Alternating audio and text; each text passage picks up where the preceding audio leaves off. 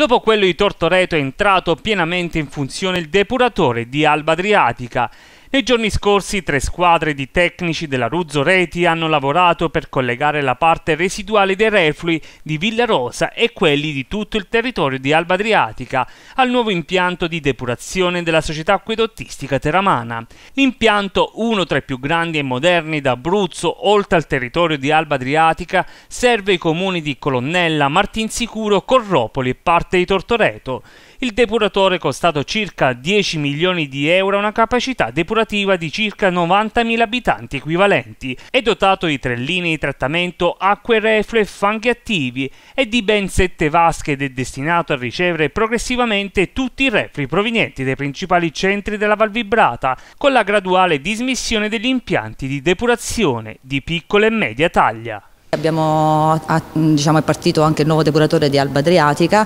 eh, un depuratore super tecnologico di ultimissima generazione che consentirà di andare a coadiuvare quello di Tortoreto che già era in funzione da, da circa un anno, siamo molto soddisfatti, un, un lavoro eccezionale fatto da, da, tutti i nostri tecnici, abbiamo dismesso quindi il vecchio, il vecchio impianto,